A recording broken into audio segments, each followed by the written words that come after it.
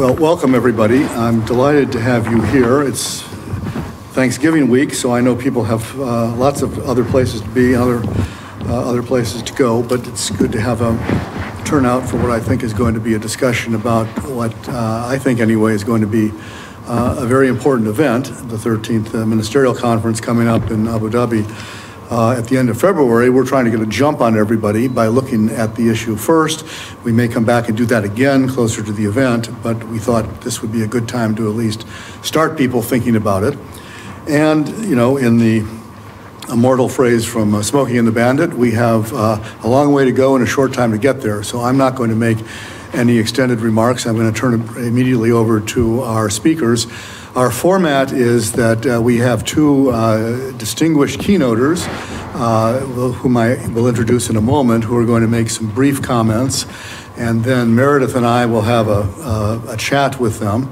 Uh, following that, we have a panel of experts. Actually, we have two panels of experts, uh, who one after the other, that will each talk about uh, goals for their particular stake in, in the outcome uh, for the ministerial. And so I hope that way we can drill down into some of the substance and, and details. I'm really pleased that we've been able to get such distinguished opening speakers for us.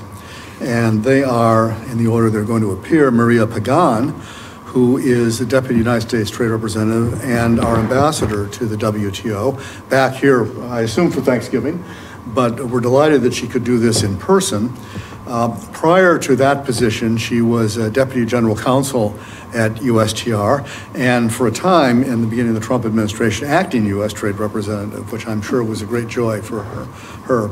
Uh, she's been the lead U.S. attorney for numerous trade agreement negotiations, including the TPP, the Peru and Colombia free trade agreements, and the revised WTO agreement on government procurement. So she has a lengthy background in uh, very specific negotiations along, along with a whole bevy of legal issues.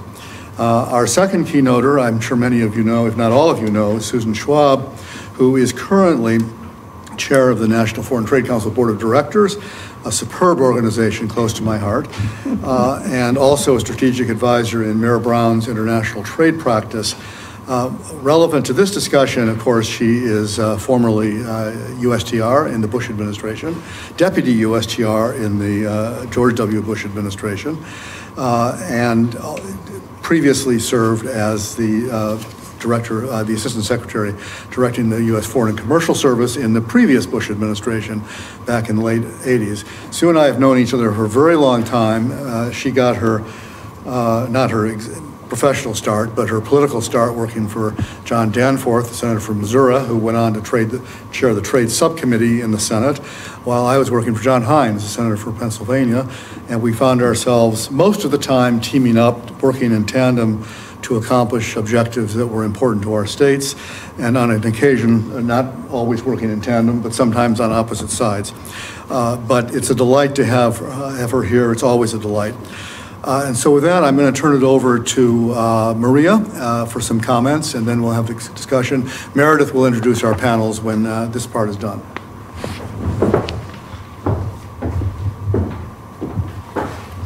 Well, thank you. Um, and uh, it's a pleasure to be here, particularly with Ambassador Schwab. It was a pleasure uh, working with and for her um, when she was a USTR. Um, I guess I, I would just um, start by laying out um, the lay of the land on the road to MC13, which is fast uh, approaching. You know, from, from my perspective, uh, this is the way that I think about all the work that we have um, ahead of us. I'm going to start with the boring stuff, and then I'll move on to the stuff that you want to hear. So bear with me just a little bit. Uh, but I do think it is important um, because we are involved in everything um, at the WTO, and it goes from the very smallest things to very big, important things. Um, a lot of the agenda for MC13 was laid out at MC12. Um, and we have been very active on a variety of work streams that we agreed um, to pursue um, at the MC12 um, uh, ministerial. So, for example, e-commerce work program. Uh, we have been uh, ha- um, actively contributing to the reinvigoration of the work program. Um, it really has been great. There's been a lot of energy behind it. And we have successfully completed a series of substantive discussions, particularly on interest to developing country members. And of course, if you follow e-commerce issues and the e-commerce moratorium, you know, the dynamic with a lot of the developing countries is really important. So, and that group has done a lot of good work. We'll continue to meet um, until uh, the ministerial. A little bit of work that has gone under the radar, but we're very proud of, is the SPS work program uh, which was something that the United States, working with other delegations, but really the team uh, in Geneva did a lot of the work um, to set up uh, a series of um, working groups or discussion groups focusing on sharing experiences and discussions on how the S- proper implementation of the SPS agreement can help um, farmers, uh, can help everybody, particularly with the challenges of food security um, and, and, food availability in the long term. So we've had a lot of good, really good discussions under that, and we hope to see um, maybe some recommendations coming out of that. Something else that was set up that again is very important um, and has uh, elicited a lot of work was um, working on the pandemic response. Um, we have been, again, doing a lot of um, uh, experience sharing, a lot of events um, on how trade facilitation can help members be prepared for all sorts of humanitarian crises. It was a focus on the, on the pandemic, but a lot of the work is also, you know, can be used for, for other, um, any kind of humanitarian emergency. And we've, we have hosted some events more focusing on, on humanitarian crisis. This is not some bold trade stuff, uh, which is not terribly gla- glamorous, but it is really why we are at the WTO. And, and uh, it gets a little, you know, little attention, but it's, it's truly important. As I'm sure you know, there are a number of LDC proposals, and we always have the whole trade and development conundrum. Um, we're very engaged um, on all these conversations, trying to find a path forward on, on how we, from my perspective, get out of this developed, developing country divide, and so that we can really help everybody see the value in being at the WTO. Um, just recently, we actually uh, agreed at the General Council on something that we had been working on for two or three years, which is really amazing to me, um, which was a decision on encouraging um, uh, tariff preference granting members um, to take into account the specific circumstances of countries that are graduated from the UN LDC list. And it is one of those things, and maybe we can have a conversation uh, a little bit later. Not rocket science but very important. And just finding the right words to get to yes took almost three years, but we did find the right words to get to yes, and, and, and um, so we've taken already the decision of the General Council. I'm sure it will be presented to ministers. Again, just to, to point out that there is a lot of work going on. It's all, you know, nuts and bolts, good work, um, that we should not lose sight of that. Now, going on to the more, the things that you're probably more interested in, WTO reform. Uh, first of all, we have to recognize that reform means something different to everybody. Uh, but again, that gives us a lot of space to, to be able to, to do a lot of good work. Um, we also need to recognize that organizational reform and reforming a, you know, the WTO has gotten to be kind of a big bureaucracy. Um, you know, so organizational reform is difficult and it takes time. Um, so we need to take a long-term perspective on that. And to, to me, to us, MC13 is just a way station. It's not the endpoint. Because one of the key things that we want uh, everybody to acknowledge about reform is that it should be an evergreening process. That we should be constantly looking back and seeing, is what we're doing, are we doing it the right way? Are we addressing the right issues? And, and so that is uh, something very important for us.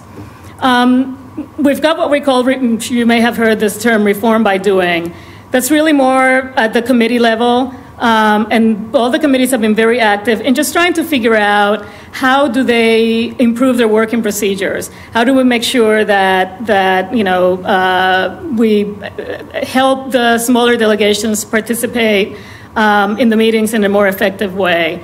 And so there's been a lot of work on that, and I do think that, and, and it should be work that a lot of work that has been done and will continue. And at MC13, I hope that we recognize that work and encourage for that work to continue. Of course, we have the reforming the overall agenda at the WTO. And this part is a little bit more difficult.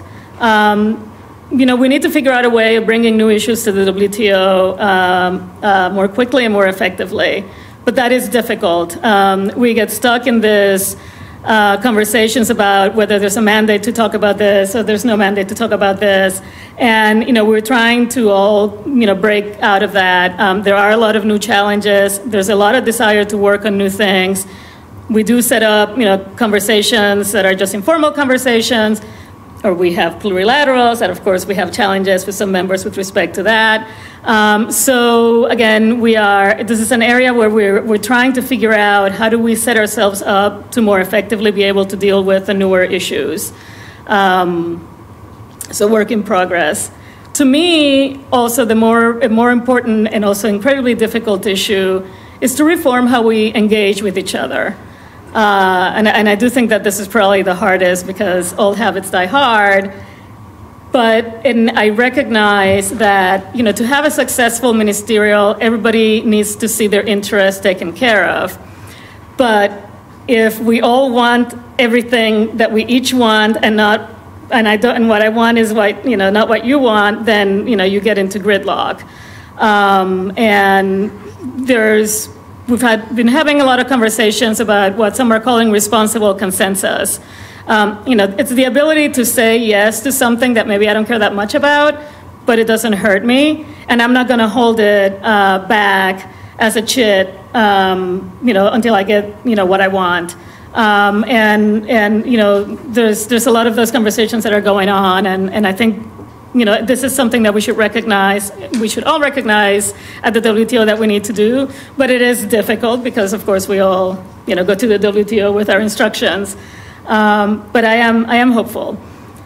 So moving on to more substantive, of course, fisheries negotiations. We, we um, did finish uh, Fish One, as we call it, uh, at MC12. Uh, we're very happy that we were um, one of the first uh, members to ratify. There's been a lot of good energy behind uh, getting the agreement uh, to enter into force. Um, I think we are still shy of about 60 members for MC13, but there really is a lot of good energy, and I give credit to uh, the Director General for, for pushing everybody. I'm very happy that she doesn't have to push me anymore because we got it done. But it does, to me, it does show that, that there is value uh, that people see value in, in being at the WTO and, and, and doing these agreements. So now we are in the second phase of negotiations um, uh, for that agreement. No surprise, and if you looked at Inside US Trade today, had an article saying how difficult it is. Well, of course it's difficult. It was the part that got cut off so we could finish the agreement uh, last year. Um, you know, these are difficult conversations. Um, I try to be half glass full, and I think that you know again because it's a much smaller agenda uh, than we than we had uh, going into MC12. Um, you know, I hope that we can get somewhere. The difficulty there is we spend a lot of time talking about flexibilities and not enough time talking about what the actual substantive obligation is going to be or who's actually going to have anything, uh, any obligation. And we don't want to agree to something that is basically going to bless bad practices, unsustainable practices into the future uh, just, just to get an agreement. Um, one of the key issues uh, continues to be transparency. We need more transparency. One of the issues that get that, that in which we get held up is the lack of data of what's happening out there with these programs. And so I hope that you know we will continue to we certainly will continue putting a focus on transparency um, because we do need transparency in, in, order to be able to understand what is happening. And of course, um, we will continue to push um, our proposal on transparency with respect to forced labor in fishing vessels. It is an important issue. It's well documented. And um, you know, we will just continue to pursue that. We think that there is space for the WTO to do something on this issue. Um, e-commerce moratorium. Um, again, we've done a lot of good work on the work program. Um, we've put a lot of effort into it, um, in particular as it, as it relates to the benefits to small and medium enterprises and small and medium countries. So we support extension of the moratorium, particularly because of this, the value that it holds for small and medium companies and, and countries.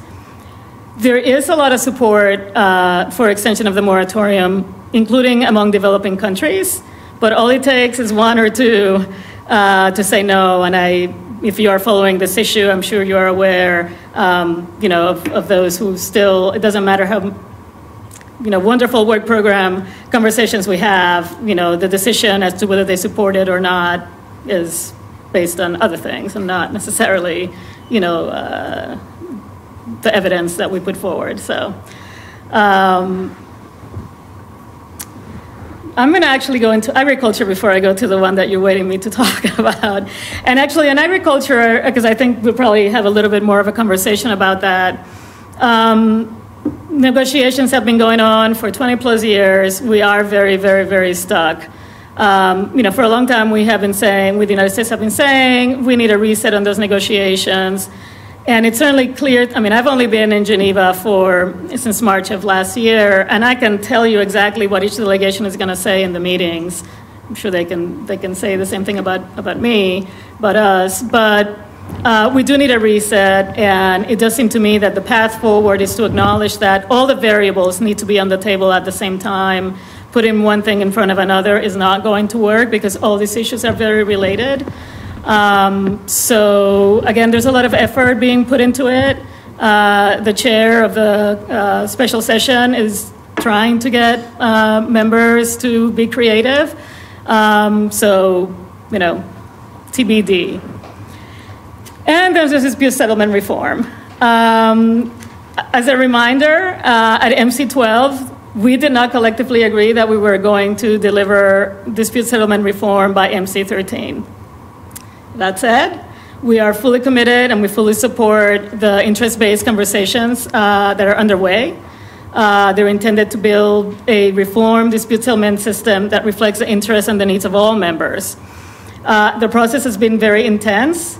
Um, and it has also been a very different way of approaching a difficult issue. And I actually wish that um, we would look at other issues in the same way that we have been looking at dispute settlement reform. We have shied away from a here's my text, you know, and then the other, you know, 10 people, you know, delegations put a text on the table and then we have to hash it out. We've tried to start from what are the interests, what is it that you're looking for um, in a dispute settlement system, and then work from that up to then putting things down uh, uh, as text once we have reached kind of a common understanding of what we're trying to do. Uh, so there, there is a lot of good work that has been accomplished. It's been um, mostly on procedural issues, but those are important as well because you know it's a whole system uh, that has to work well. Um, but again, it's no surprise that the more difficult issues are still unresolved. And I just want to be very clear um, that our goal is not to restore the appellate body or to go back to the way things were.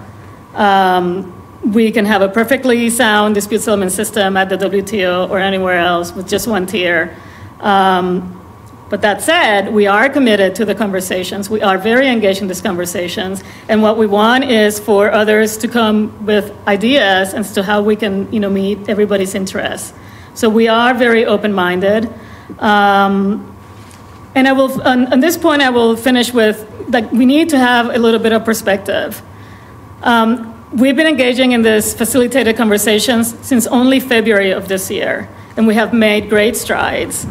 And I don't know, Stephen, maybe you remember, I don't know how long the DSU review uh, has been going on or had been going on. I think it's an ICE.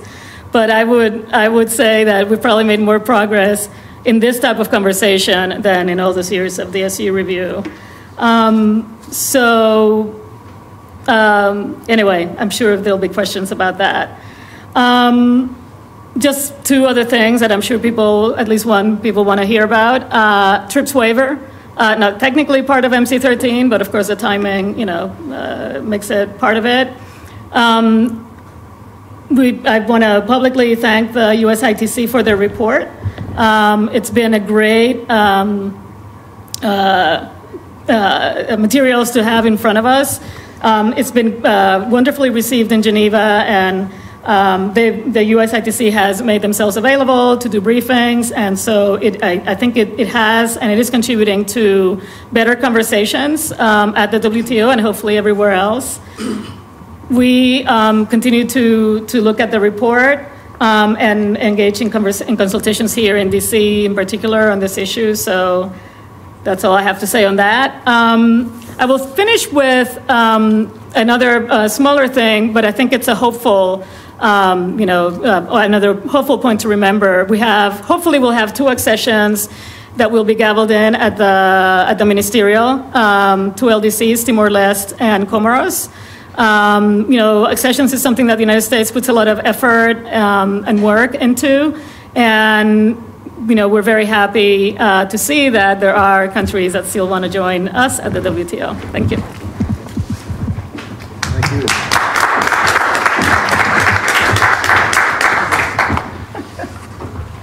It's easier to shuffle the papers that way. Yeah, exactly. Thank you. Uh, Maria, it, it is great to see you. Uh, USTR and the country are very lucky to have you in Geneva. Wonderful to see you again. Great to be at CSIS. I am, I am a fan. Um, lots of friends and colleagues, former colleagues here, thank you. And um, Ambassador Wolf, friend and longtime friend and mentor, um, and former boss. So wonderful to uh, see you here as well. Uh, I just, I hadn't prepared any remarks, so I've scribbled a few things down. I'm just going to make a couple of points. Uh, and I know we've got some questions we'll get to, and we'll see. I, I'm going to say some things that should be just no-brainers, obvious. We cannot forget the importance of trade to the U.S. economy, not just geopolitics, again, no-brainer, but the economy and job creation. Um, again, 95% of the. uh, Consumers are outside the United States. Right, exactly. I mean, I was using this 20 years ago, 30 years ago. 95%, yes, but there are a whole lot of people apparently making policy who mm, don't realize that 95% of the world's consumers are outside our borders. Uh, And we just need to be remembering and reminding others that, yes, in fact, it's out there, including the competitors uh, that are out there. Um, We also need to be remembering and reminding ourselves and reminding others of the importance of the WTO uh, to the United States. No matter how frustrating the WTO can be, WTO negotiations can be, uh, the fact of the matter is, it is one of the few uh, multi country institutions out there where the rules have shown to have worked. It's one of the few multilateral institutions out there today, for example, where Taiwan is still a member, along with China. If you had to create it today, or if the US ever walked out the door, um, you can guess who would get pushed out the door shortly thereafter. We need to be remembering uh, things like that. Uh, and a rules based system is a rules based system that helps us and uh, has protected us as well. And without those rules, uh, we would be facing a whole lot more economic hostility outside our borders than we even do uh, today. Uh, leadership. Leadership in the global economy today has been lacking. Uh, it is hard to lead from a place of fear and timidity and ambiguity. And we need to be stepping up every day uh, and, particularly in areas that we care about, uh, and articulating U.S. interests. Critically important. And, and I should note that, that there is still bipartisanship in this space. Uh, international trade remarkably stayed bipartisan for a very, very long time.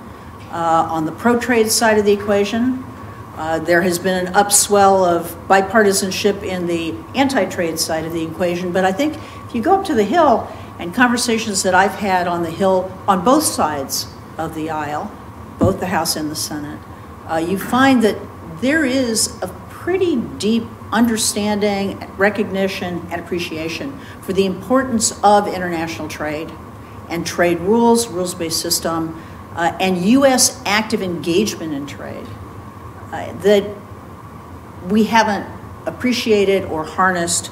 Uh, and some frustration associated with that. If you don't tell the story, if you don't act on the story, uh, it dissipates and the fringes uh, take over. We cannot and should not be following models, whether in trade policy or industrial policy. Again, this should be a no-brainer, but I got to say it anyway.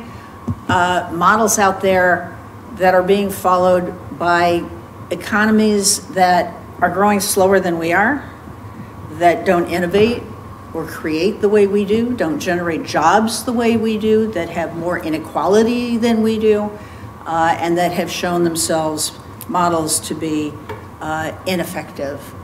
Uh, and yet, we tend to look at some of these trade and industrial policy models uh, that um, have clearly bad track records and think somehow we're going to be able to do them better.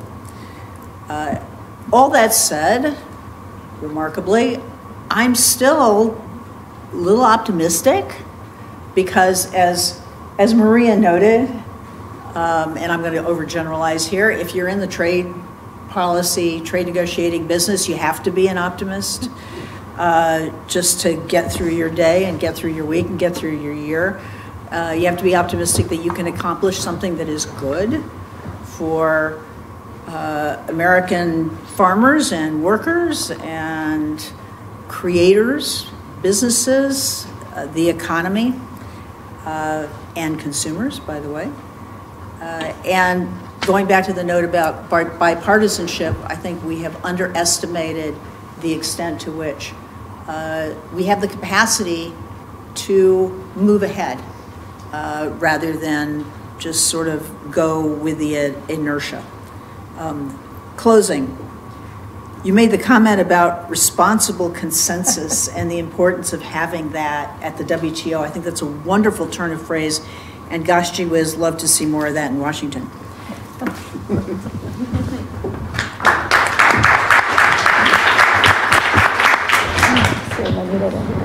Okay, Meredith, you want to go with the first question?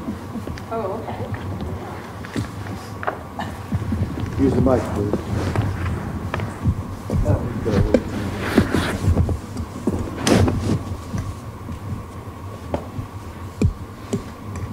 Okay, thank you. Um, I think since we're going to, we'll kind of get into some of the meatier issues here, uh, bring us up to date on fish, Maria, in terms of where uh, the U.S. and the EU and China are all subsidizers, and how are you? Not to the same degree. Are you, are you looking at limiting our subsidies? Susan? Yeah. Um, well, again, the, the phase that we're in now is about subsidies that contribute to overcapacity and overfishing. Um, I'm not going to make a categorical statement about our subsidies, but I don't think they contribute to overcapacity and overfishing. We did the, the you know, other uh, prohibitions in the earlier part. Um, and I again, I think that, you know, what we want is that if you're going to subsidize, there, you can subsidize for good purposes, and you can subsidize, you know, for um, to, con- to contribute to sustainability, um, and that's where we're getting held up. And I think part of it is because again, we don't have that much transparency on what uh, a lot of members are doing in this area. And so, you know, sometimes you get into this issue, well, why is it that you're trying to protect? Because if you don't have programs that you're, we all should be notifying our subsidies programs, uh, we do. Um, you know, then what is it that you're trying to protect? And again, this is where we end up having a lot of conversations about all the different flexibilities that developing countries need. Um, and spending just a little bit of time on what the actual discipline is going to be. And this is one area where, you know, if you throw all developing countries, as you all know, in the WTO, you raise your hand, unless you're the United States and a few others, you just raise your hand and you say you're a developing country and you're a developing country. Um, but there's a wide range of developing countries, and some of the biggest subsidizers and uh, the biggest catchers, I forget the ones with the biggest uh, capacity to catch fish, are developing countries. So, you know, you can't, you know, we may be willing to give flexibilities for those who deserve it, but you can't have flexibilities for everybody just in the fact that they're self- self-proclaimed developing countries, and that's where the conversation, you know, sort of goes around in circles. Um, and again, transparency is, is a huge thing, and we are transparent. Um, you know, other members are transparent, but we need to see a lot more commitment to transparency. And you know, if members have ideas as, as to what they want to do in the future, if they don't have programs now, then they need to be transparent about that as well. Did you have thoughts? I, I would just say that having fought the good fight on fisheries subsidies and failed to deliver when I was USTR, I was very pleased that something at least was accomplished. Um, we all wish it could have been more. Again, going back to the importance of the WTO, um, here's an area where the WTO really can make a difference. Uh, we need to remember principles such as transparency are critically important and, uh, you know, keep going. Let me, wa- uh, can't tell if this is on or off. Is it on now? No. Someone else has control over it. Oh, all right, well, Yeah. anyway. Uh, This is really a question for both of you, but um, let's start with Maria on this one, is on, uh, on digital trade issues. The administration has, uh, and I don't, uh, uh, I didn't hear you talking a lot about that in your remarks, Uh, so maybe we'll put you on the spot here, but the administration has announced kind of a a pullback of previous uh, longstanding positions on digital trade in the e-commerce joint statement initiative issue. Um, Can you elaborate on that a little bit and tell us where you think that's going to go and the extent to which this is going to uh, be an issue in the ministerial? Uh, And then I'm going to ask Ambassador Schwab to comment on what Maria says. Well, the, is it going to be an issue in the ministerial? You know, probably not. Um, so that's not entirely my control. Um, the digital issues are in the JSI on e-commerce, um, which is a plurilateral arrangement, so not all members are participating. And as I'm sure you're aware, uh, there are some quite vocal uh, members of the WTO who don't believe that we should be having those conversations even as a plurilateral uh, negotiation at all. Um, so uh, I don't think it's necessarily a good idea to have that conversation at MC13 um, because we're going to get into those, uh, you know, uh, conversations, and I don't see how that's helpful. Um, I, I really don't want to uh, get too much into the weeds, but just to reflect that, um, you know, what we did, the JSI on e-commerce had been going on for quite a while. Um, as I'm sure you're aware, in the IPEF negotiations, we um, we're taking a different tack on, on digital issues, um, taking time to rethink um, how we need to address uh, these issues. Some of them are, I mean, just, you know, there's a lot of things happening, AI, you know, there's a lot of stuff happening that, you know, is making us take a step back to rethink whether the rules that we have had are the rules that we need to continue to have.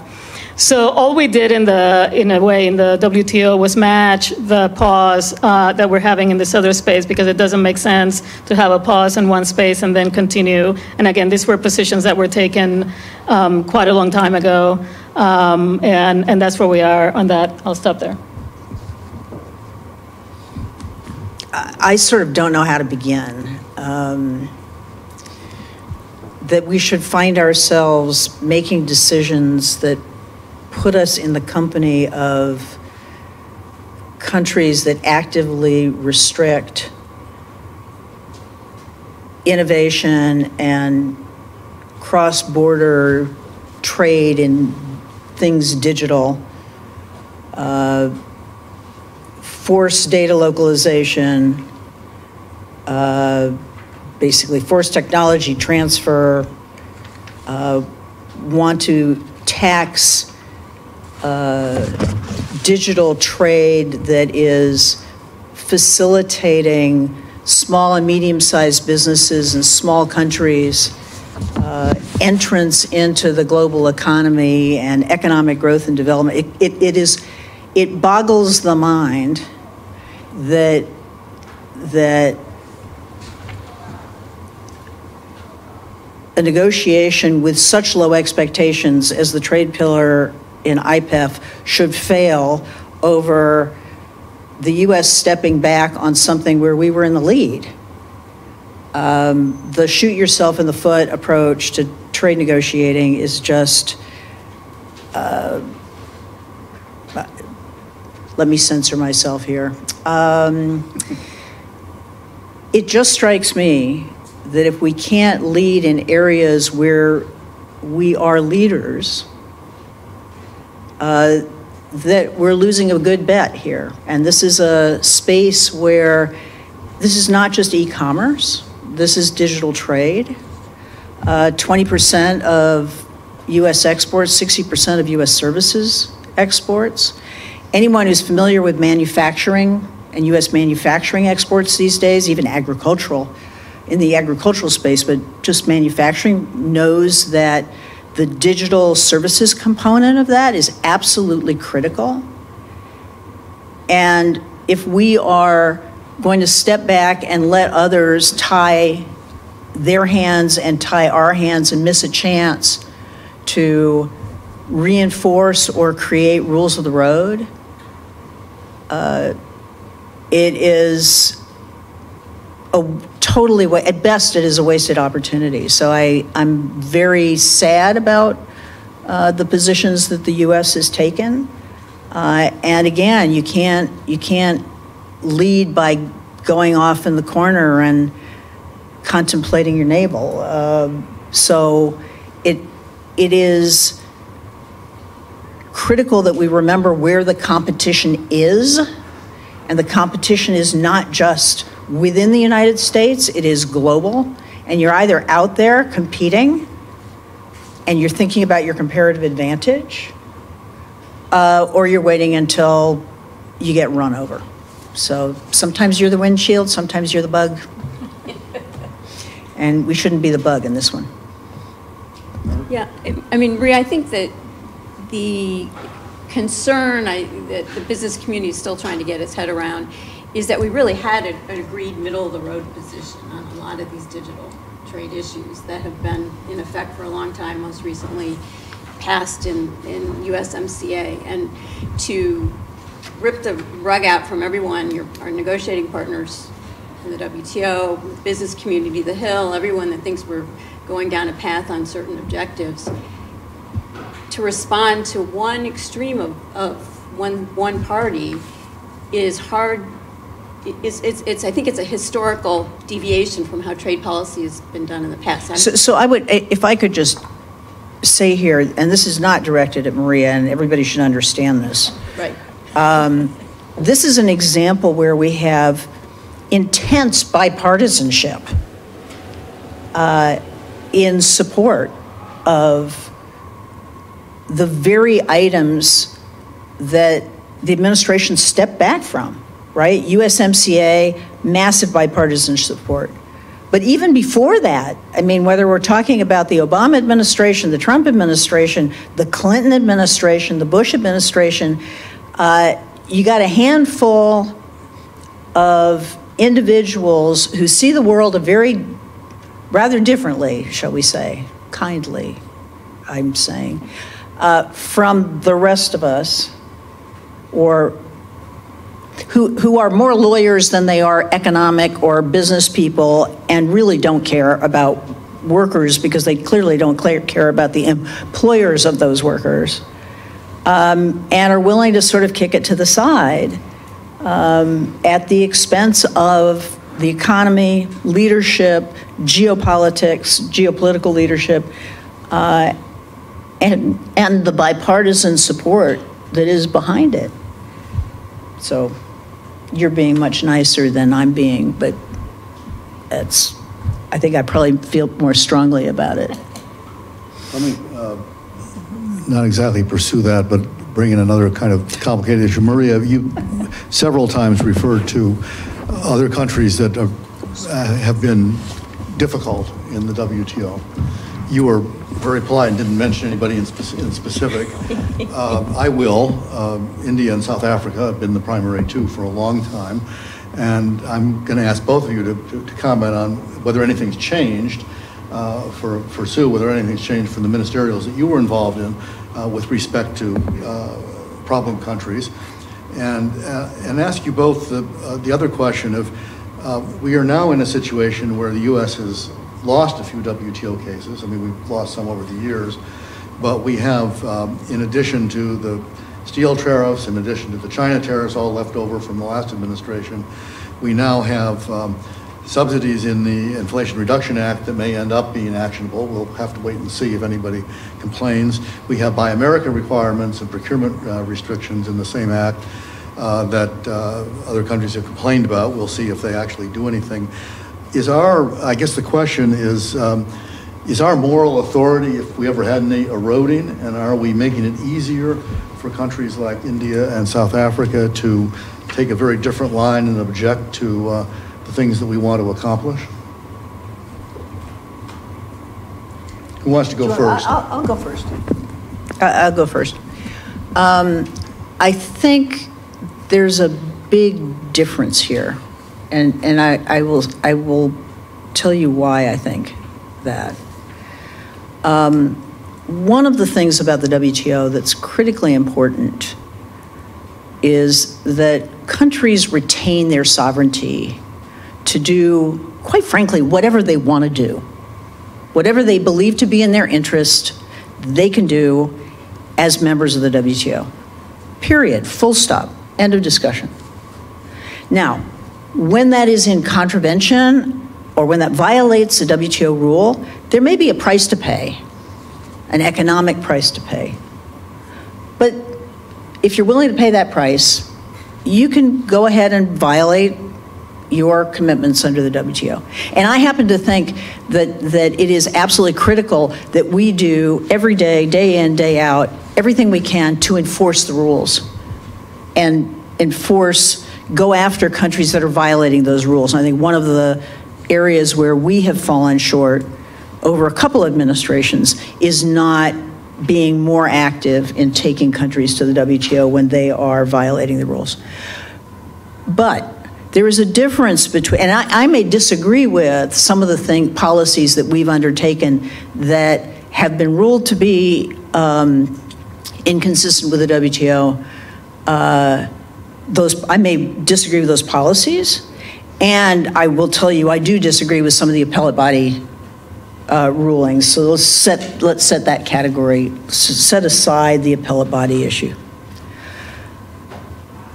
The difference, though, is the U.S. doesn't stand in the way of everybody else moving forward at the WTO and making progress on rules.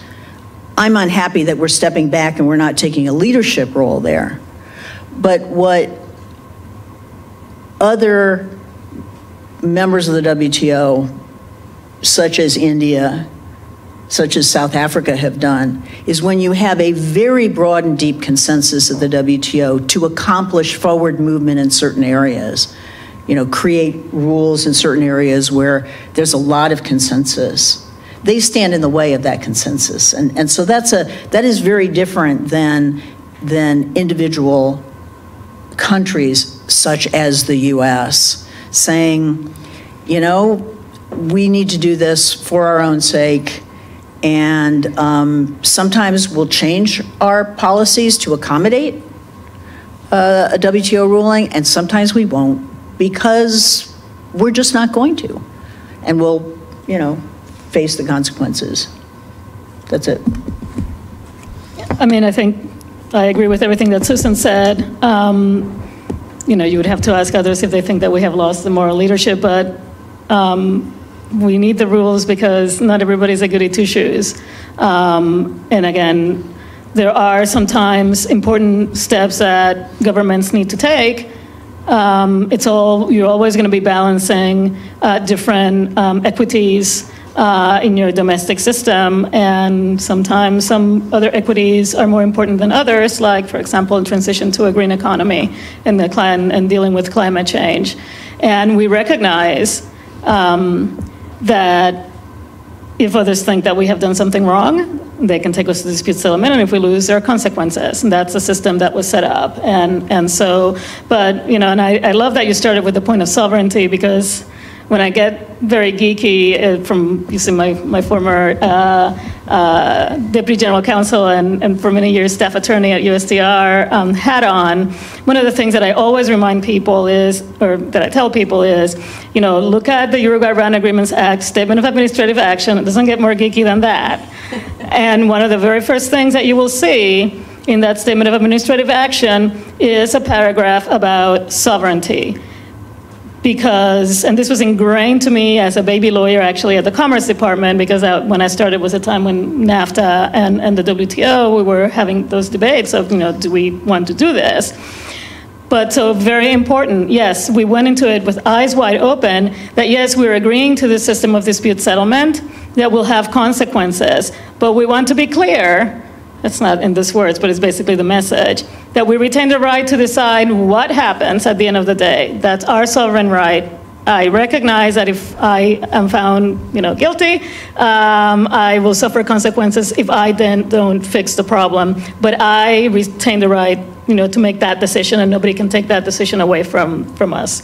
Um, so again, on that point, you know, we're not the only one who gets sued at the WTO, so there's plenty of other scofflaws out there. And that, that is the way the system is set up because inherently, you know, and this is one of the, the, the things that, that I do firmly believe in is that you know trade is you cannot there are very very few things that are just trade issues. Every issue may have a bigger trade component but also has other policy components to it and you have to make decisions um, as a government. That's the job of the government is to make decisions as to well what is you know what is the path that i need to follow recognizing that you know i may be falling short in one space or another. So anyway, that's my answer. So can I, can I just add two things? One, the U.S. can have a very large impact at the WTO and WTO negotiations, but you can't do it by yourself.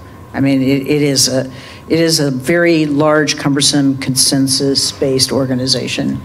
Um, second, tying back to the issue on digital trade, uh, the concerns articulated by opponents to uh, digital, the digital trade provisions that, that have, have, uh, uh, that were effectively stripped, that have been effectively stripped by the administration at this point from the negotiating table, they can be addressed through existing regulations and regulatory processes. Um, uh, even in the context of negotiations and a potential agreement. So again, anyone who's saying that by entering into an agreement at the WTO, you're tying your hands, that is just not accurate. Uh, and, you know, it, it, it, anyway, it's just, you can do what you need to do in your national interest. You can regulate in your national interest. Uh, and you're missing a bet if you're not using your moral authority to move yourself and the rest of the world in a direction of more transparency and a better rules-based system. Yeah, um, at CSIS, we've do, been doing some work on just massive amounts of technology regulation European Commission is, is formulating. And with US business being fueled by technology and data, uh, there's a lot of concern that, that governments like Europe are going to be driven in ways that will, to regulate in ways that will stifle the ability of US firms to, to prosper and innovate. Um, and we feel that it's important that the raft of the new EU regulations that continues to come out every day stick by these WTO principles, which the EU agreed to, which, if, which are, are tried and true and just very valuable. They have to, these regulations have to be fair, they can't discriminate against US exporters, and they have to be designed as least trade restrictive as possible. And in order to achieve whatever policy objective, we all have our policy objectives, but we have to look at these regulations and, and form them and craft them in, in a rational way that doesn't hurt, in our case, US companies. And I think there's a, a big concern that in the tech space, there's some reluctance now at USTR to go after these things. And I just wondered if you had any reaction to that or uh, impressions about where we are going, particularly on, on EU tech regulation. I mean, I don't have, you know, a lot to say on that, but I'm glad that you raised the EU because, you know, we're not the only ones who sometimes do things that people have objections to. Um, and, and, and I always love when people just fixate on us. Um, you know, I always say, and I've, I've actually had this conversation with EU officials, we're just Americans and we just do things very openly and honestly and bluntly. They you know, you discriminate, you, you discriminate in just very, you know, sneaky ways, and so it makes it harder for, for, for, for the rest to, to figure that out. Um, but again, you know, I think on those issues, you know, we, we have raised issues with the EU, and we do look at every issue. Um, you know, specifically, I, I will say I'm not in the weeds on all the, you know, the various regulations, which are very technical. Um, but, you know, I do think that we are looking at all this. Let me have, ask one more question, then we're going to go to the audience. So if you've got questions, start thinking about them. Uh, This is for Maria. How is China operating these days in the WTO? Um, And how does our relationship with them there play into our overall relationship with China? You know, as we all know, the WTO is a consensus-based organization, so to get anything done, you have to get consensus. Um, I didn't mention them along with India and South Africa. Would you put them in the same group? uh, no, I, let me finish. Um, Sorry. No, it's all right. Um, uh, no, and what I, you know, where our where U.S. interests and Chinese interests coincide, we work together. Um, I have a very good working relationship with my counterpart at the WTO, and we both recognize that as the two largest economies in the world, the two largest contributor, contributors to the WTO budget, um, when we can demonstrate that we are working together um, and that we um, share the same interests in a particular issue, it does carry a lot of weight. And so um, I, you know, how it, it plays in the overall US-China relationship, I think you would have to ask others, but, um, you know, it, it is uh, where we can work together, we work together. Okay, questions from the audience? We have someone with a microphone here. There's one over there. Please, when you get the microphone, tell us your name and ask, ask a question, and not a speech. Hi, my name is Ujjwala Pluri. I work for U.S. Customs Office of Green Trade and Sustainability. And my question is regarding sustainability and climate in international trade. More specifically, what steps is WTO taking to hold countries accountable for, for example, poor quality environmental products in the products that they shift, or like forced labor and other such issues around the environment?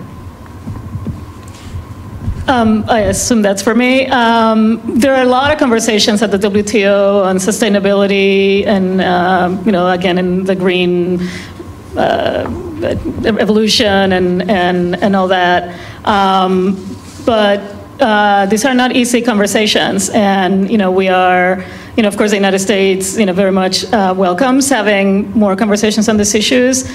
On, um, so again, but it's, it's one of those issues that is not generally agreed, where we, where we end up sometimes in these conversations as to, does that issue belong here or does not belong here? Again, we try to continue push, you know, working those issues through like-minded countries, but always with the goal of bringing in more. On the specific issue of forced labor, which of course for the United States is, you know, you know, and, and for me as a lawyer, um, uh, you know, it's been around, you know, we've had this prohibition since, since the 1930s. Uh, of course, it belongs in trade. Uh, that is a very difficult issue at the WTO. We have a proposal um, in the fish subsidies negotiation on, on trans- and it's just transparency with respect to forced labor practices in fishing vessels. Um, uh, we have some support, but, you know, it, it, it's not overwhelming. But, you know, from my perspective, and I think from our perspective, you know, you just have to keep having conversations, right? You got to keep, you know, bringing those issues into the conversation, you know, with the hope that at some point people will, will understand and, and that we won't have to explain why this is linked to trade. Let me, let me uh, uh, add a couple of observ- observations. One, uh, I think it's really important that the WTO focus on issues that belong in the WTO, where the WTO really has a comparative advantage and can make a difference. There are a variety of venues where sustainability uh, uh, is a better fit. However, um, I'll give you uh, two two trade agreement examples that I think uh, where the comparative advantage is in the agreement space. So one is at the WTO where we've tried for years to get an environmental goods agreement. Uh, That is, that should have happened years and years ago. I mean, that, that got launched, I think it got launched in our administration at APEC, but it might have been launched before us, uh, might have been launched during, during the Clinton administration. But in any event, the idea being reduce or originally eliminate tariffs on products that um, are going to lower emissions. Ultimately, there was a list of 54 such products, uh, as you obviously know, and it got hung up on a dispute between the EU and China over bicycles. Inexcusable, inexcusable that that has not been closed. And quite frankly, if I had to list something that could and should be delivered as part of, of part of the, uh, of a ministerial, that'd be a good candidate. However, let me then turn to plurilaterals and free trade agreements or regional trade agreements. The strongest environmental goods provisions that we have in trade agreements these days are in free trade agreements, bilateral free trade agreements or regional trade agreements where we aren't even a party, where you have enforcement mechanisms on um, logging, uh, anti-logging uh, uh, arrangements. You've got uh, enforcement provisions on CITES. You've got, so, so you have multilateral agreements that are out there related to the environment and endangered species that have no enforcement mechanisms whatsoever. And where we have built them into trade agreements, uh, all of a sudden we have enforcement mechanisms and we're able to enforce them bilaterally. And if we had finalized TPP, we would have been able to enforce them uh, on a regional basis. Uh, so it's sort of interesting that, that outside the WTO, we've been able to do that, but now that's come to a screeching halt. Okay, we have time for one more, and then we're going to have mercy on our uh, panelists, let them leave. Right there, Dave? Hello, Madam Ambassador. Dave Salmonsen with the American Farm Bureau. I want to revisit an issue you all know well. We've all, U.S. agriculture has put it on this issue over the many years in ministerials. I'm sure it'll come up again this time. And that has to do with public stock holding in agriculture. Uh, issue of importance to us. I still hear from our members about world rice trade and impacts on that, which goes back to this issue. So, how will the conversation, let's put it this way, how will the conversation this time be different about that issue? One of, one of my questions for, for Sue was going to be, how is it different than the la, than the ones that she dealt with? So maybe the answer is not. I would hope that it's going to be different. I suspect it won't be different. Um, you know, of course, it's an important issue, and, and for those who are not in the world of public stock holding, uh, you should be happy. The United States, of course, doesn't have any problems with uh, countries doing proper public stockholding programs. They can be done. Uh, the issue is those that are market price support. I just want to be clear because I've seen uh, some prior reports and some, you know, trade uh, articles saying that the United States doesn't agree with public stockholding and that it's not quite the truth. We just use these shorthands. It is a particular, um, uh, you know, difficult, uh, a problematic um, issue, as, as I know I don't need to tell you about. Um, so. I hope the conversations will be different. I suspect they won't. Um, and it's not an issue that it's just the United States uh, versus um, those countries who are pushing uh, basically to be reprieved from from continuing to do practices that are that are um, again uh, have negative spillovers, uh, not just to us but to other uh, developing countries. Uh, so there, you know, there are developing countries who are also very much opposed. Um, uh, to uh, those who are pushing for for a final solution or permanent solution on on, on public stockholding. Um, so I, I'll leave it at that, and you can regale us with with tales of PSH conversations past. Well, it's one of the reasons the Doha round tanked, as you know. um, because we were worried that what has happened would happen. Um, And it really has, I mean, the big difference now is we've got evidence that it really does hurt developing countries. Uh, It really does hurt uh, competitive agricultural producers, and it really does hurt developing countries. Um, Is that making it, will that make a difference in the negotiations ultimately? Hard to know.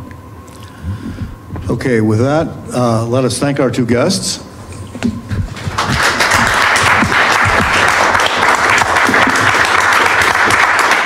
And we'll bring up the, uh, the next panel, which is uh, Joe Glauber, Stephen Ezell, and Robert Hahn.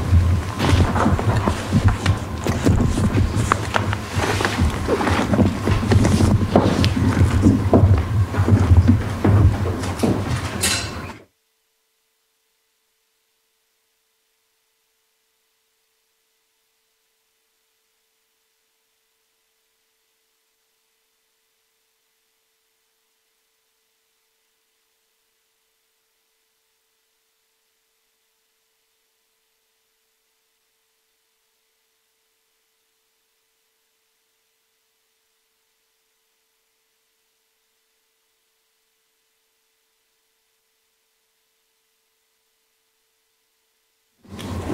we're lucky we split up our panel. We were going to be one long panel, and I think they didn't trust me for not falling off the edge here. So had to split it in two. So we're all got enough space to, to exist here.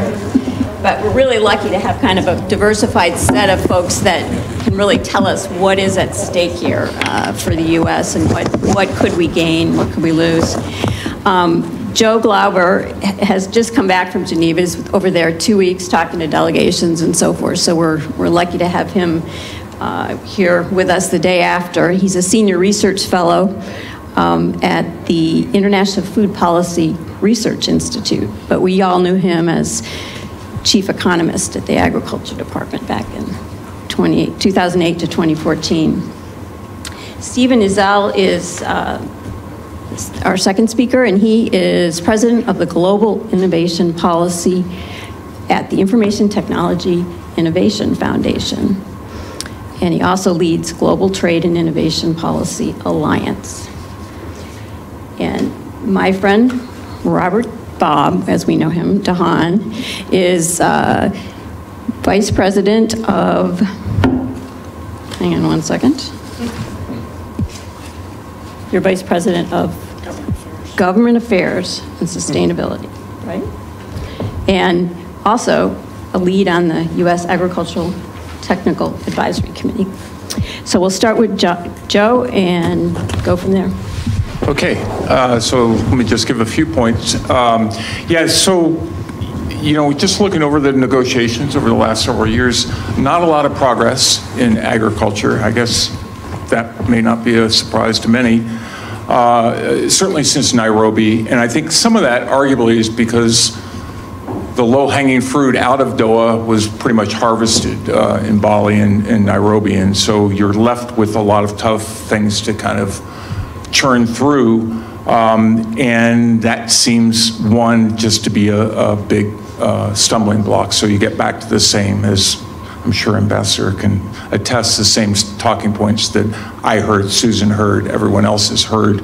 Um, Yes, since Bali stock, public stockholding has been probably the number one issue, uh, not an issue, by the way, for us. That was SSM. That was the big stumbling block. Public stockholding really arose because market prices got really, really high around the time uh, the last couple of years of the Doha uh, negotiations were going on. And so countries started raising support prices, which got them in trouble because of the, the calculation for market price support. Um, and that's been a big issue. You know, Bali prevented or presented this sort of peace clause that India took advantage, has taken advantage of, has asked for a permanent solution. I think there's some technical fixes out there. I do think it's a little bit of a gotcha at this point, in the sense that the, the um, you have countries like India that haven't been particularly forthcoming on other issues as well.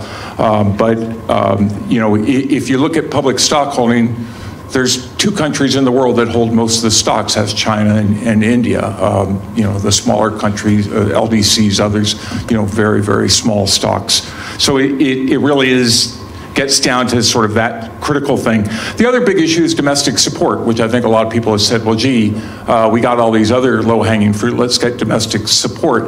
I would argue that low, it's, uh, that fruit's a little higher up in the tree and isn't a very easy thing to get, and particularly for, for the U.S. who look at, at, at um, uh, domestic support may be willing to consider some some reforms there, but look at it in the context of market access. And I think Mark, that of course has not been so much discussed. Um, hopefully, we will see at least a work program emerge that will look at all these issues uh, together, which I think would be a lot more a lot more potentially fruitful, at least. Um, I, will close the because uh, I know there's be a lot more uh, that come up in the questions. But the other big thing, of course, is the dispute settlement body, and I think um, agriculture has been a huge beneficiary of of. Um, you know, the DSB and has taken, you know, even in the midst of all the trade wars, one, two very important cases against China on uh, domestic support and on TRQ administration. And those were, you know, straightforward disputes that were brought uh, at the tail end, I guess, of the Obama administration, but successfully argued, successfully won, and implemented. So all those things are good things, and all the more reason to hopefully get something uh, back so that we have a forum for that.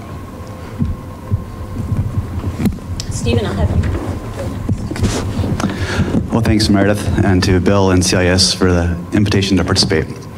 So in 1998, WTO members agreed to a moratorium on the imposition of customs duties on electronic transmissions, which had to be renewed every two years by uh, WTO members. And I think this is one of the reasons why this WTO ministerial is extremely important, Meredith, especially as we, uh, coming off COVID-19, re-architect uh, the global economy, global supply chains for advanced technology industries.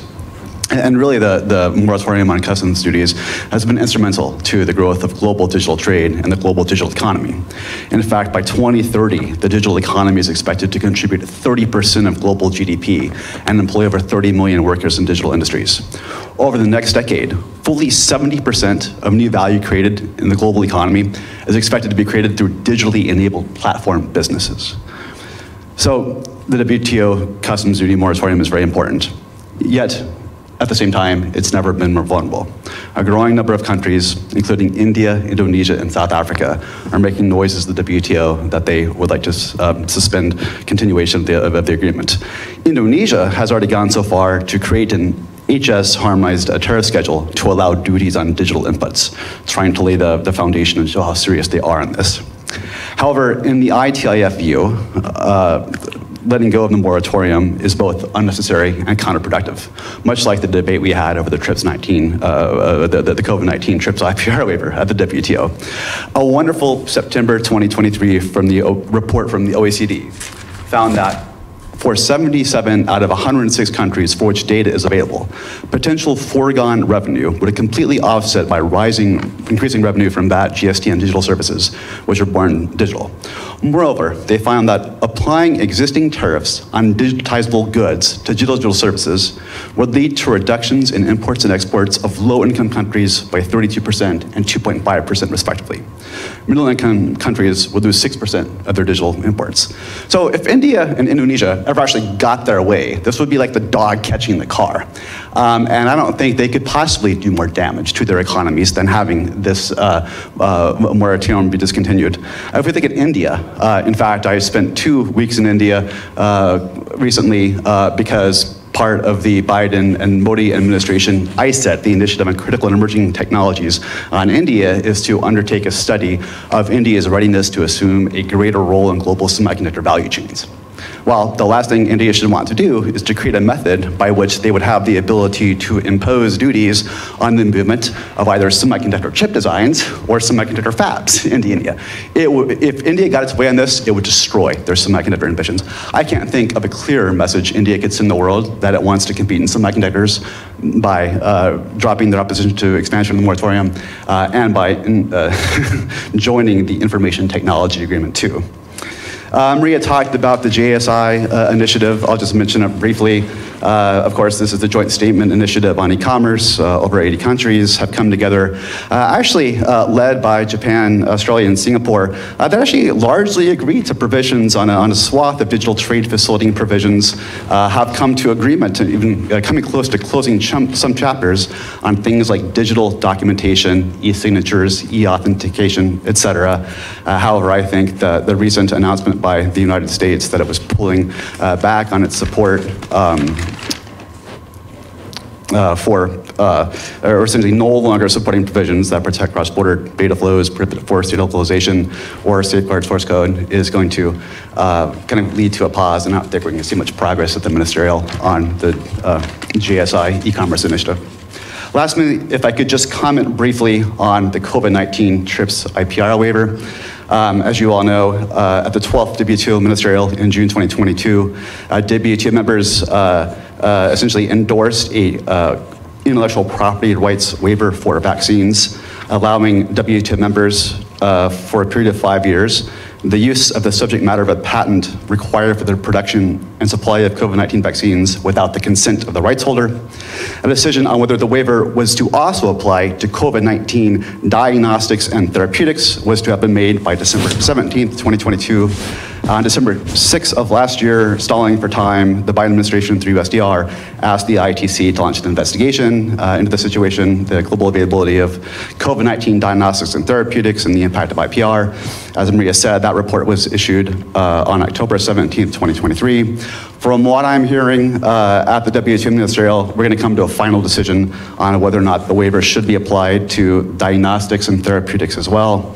Uh, from the ITIF perspective, however, um, we would counsel the administration to uh, not buy into the arguments made by proponents that intellectual property rights fundamentally uh, create a barrier to access. Um, I'll wrap after this. Uh, when we look at the COVID 19 IPR vaccine, we've actually found that not a single country, company, or entity has notified the WTO of any intent to avail itself of the vaccine waivers provisions, uh, reiterating the futility of the initial agreement. Uh, in our view, the waiver has been a colossal waste of global time and resources, and we should no longer continue this trade. Uh, Bob, in terms of fish, you're front and center again at this ministerial. You were front and center at the last ministerial.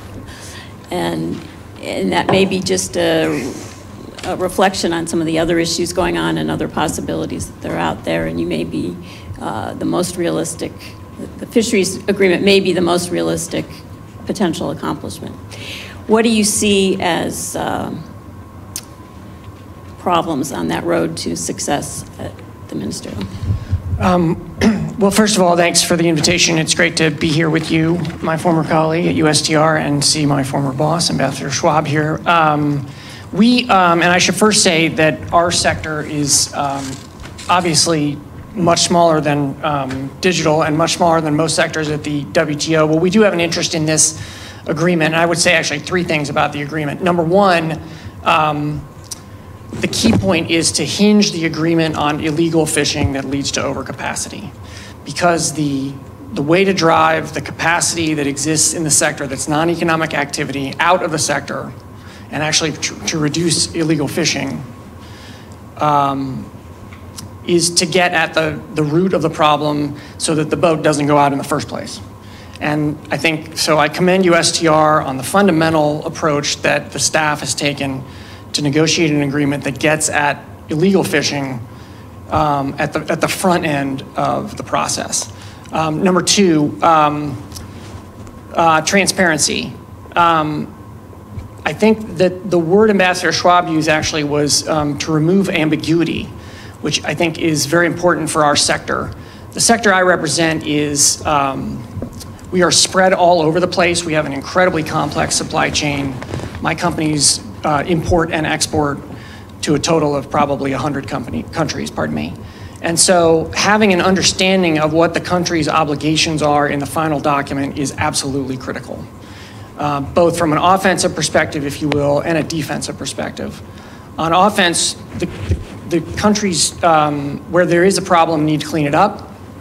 On defense, what we don't want to see as a country, as my members who import a fair amount, and our country, which relies on imports to a substantial extent to power the domestic market, do not want to see non-tariff barriers spring up in 10 years or 15 years or what have you, arising out of a well-intentioned agreement that ends up with some ambiguity that creates a problem in the text. Um, and so it's vital that that happen as well. The, the, um, the third thing I would say is that the, um, the, the, where the, where the fish meets the road, if you will, um, the, it's, im- it's imperative that WTO come down in, in terms of what subsidies are prescribed in fish two, or if there is a fish three, um, to, to make sure that the subsidies that we get at are the ones that are harming and distort, market distorting, and do not punish legitimate support that our government and others provides to the sector. So the classic example in this space is I have um, a well-managed fishery, but it depends on regular stock assessments from the government in question, the U.S. government or whoever ever else. So in our case, it's National Marine Fisheries Service. They have to have the funds, they have to have the vessels, they have to have the resources to do adequate stock surveys so that that fishery is protected and can be managed. If it's not managed correctly, then you get emergencies, you get closures, you get kill switches essentially, which our government um, thankfully um, has been using to a less to, to a lesser extent more and more every year. Um, and so the kind of subsidy that you, what we want to do obviously is separate the wheat from the chaff, sorry, Dave, um, and make sure that we are not punishing the governments for managing fisheries well by doing things like adequately funding their stock assessments. Um, so that's the fisheries agreement. If I could just make a couple other points that are not tied to that exact agreement, um, building up what I heard earlier. Um, our companies are part of a supply chain that I said is the most globally traded animal protein on the planet. Seafood is the principal animal protein for about 3 billion people um, in the world. And so we care about this agreement, but we care deeply, deeply about the proper functioning of the WTO, not in the direct way that many of you do, but in an indirect way as what you might call consumers of WTO work product. Um, and so, in my job, in my experience, um, we care very much about the SPS agreement and its proper interpretation and uh, resolution. We care very much about the TBT agreement and its proper interpretation and resolution. Um, we want to see a WTO process that is transparent and fair, um, that gives our companies and the consumers that we serve um, certainty and predictability and the ability to plan out.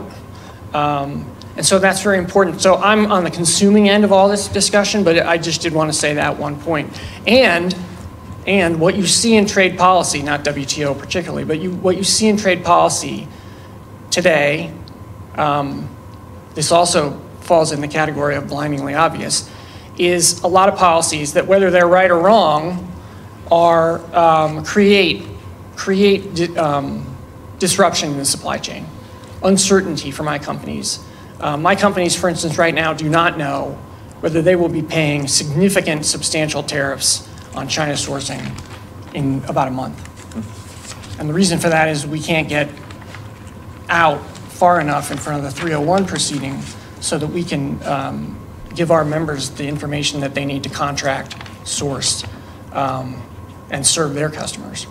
Um, so um, pardon me for the, the post hoc, um, the post fishery subsidies discussion, but I did, I did want to clarify that and make, make clear my agreement with some of the things that came up in the first panel. Yeah, no, I appreciate that. And, and I, you know, it's interesting because you get delve into every sector and there's key rules in the WTO that, that have been helping U.S. interests, U.S. businesses and workers over the years. And we, we tend to uh, gloss over sometimes some of the, the, real wins that we've had there. Um, I wanted to, to talk a little bit about the dispute settlement system, and maybe Joe, uh, have you respond to what do you think is possible there? Maybe not this ministerial, but down the road, and what is your industry counseling USTR to do? Yeah, uh, I'm, I'm probably not the person to address the legal issues on uh, or the problems with the DSB. I mean, I think there are clearly there are, you know, again, from the narrow confines of agriculture, I think, you know, we've done pretty well. I you know, I think of just the quick analysis I did of all the cases involving agricultural products that the U.S. took. I think we won something like 85% of the claims that we, we brought. You know, on the flip side, we lost. In the cases that we were the respondent, we lost a lot of those. But it, it speaks to the high bar, I think, to bring a case to the WTO. And, and I would argue that, you know, that they probably ruled right. Now, individual things on appellate body rulings and whether or not they overstepped their jurisdiction, those things I think need to get worked out, obviously. But to get a functioning system back where we just not see, you know, where we're, I, I mean, I would like to see the U.S. take more cases. I think it was mentioned, I think Susan mentioned the fact that we just haven't taken very many cases over the last couple of uh, administrations, and I think that's a real mistake. I mean, I think that that's, you know, we are seeing cases being taken. Um, yeah, some of them are getting appealed into the void, but, but um, to me, that's really important as far as agriculture is concerned. David uh, Salmonsen mentioned the case with India. Well, we should be taking a case against India if, if we feel like those subsidies are distorting. And, um, you know, and right now we're just not doing that. Are all countries responding to this appeal into the void by just ignoring Uh, I don't know so much about that. I mean, there's, there are interesting cases. China, for example, accepted the panel rulings, you know, that, that were ruled against for the U.S. or that the U.S. took and implemented. We have had issues on implementation, you know, uh, that that uh, in, in consultations on that. But um, you know, you, you, you know, the the case count is down considerably, though. I mean, I think that's the the, reality. Yeah. But, I mean, I think a lot of this is just having a structure of rules that are objectively agreed by both parties with which USTR can go to that country and say, Right. uh, you know, we've got a panel decision, can we work this out, you know?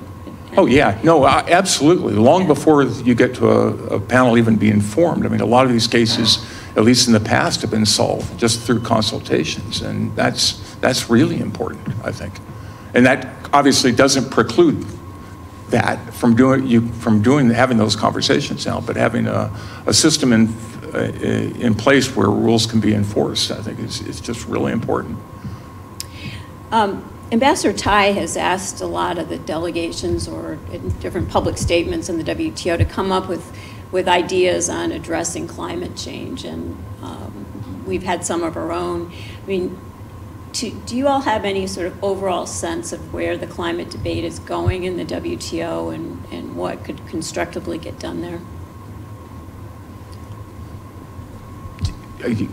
I'll, I'll start. Uh, Yeah, the, the big interest right now among, particularly among international organizations, probably outside the WTO, but WTO has been active in this too, is, is this whole notion of repurposing agricultural support. So taking support that is trade distorting and, oh, by the way, correlated with poor environmental outcomes or poor climate outcomes, repurposing that support, changing it, and putting it more into public goods. So climate, you know, uh, greenhouse gas mitigation strategies and things like that. I mean, I think the, the, the problem, if I look at, say, something, the debates that, that's going on in the U.S., because, you know, the agricultural department, the, the, in general, the Biden administration has been pushing, you know, uh, climate outcomes for agricultural support.